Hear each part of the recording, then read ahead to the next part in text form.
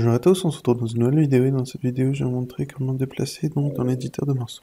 Donc là par exemple si vous faites clic gauche ici vous faites des notes et après vous, donc vous allez sur le stylo et après vous allez donc sur le carré comme ceci et vous sélectionnez tout et après vous pouvez tout, tout déplacer en même temps ou sinon hop, vous allez sur, sur un carré et vous pouvez donc le basculer sur la ligne. Donc voilà, n'hésitez pas à vous abonner à la chaîne YouTube et au revoir.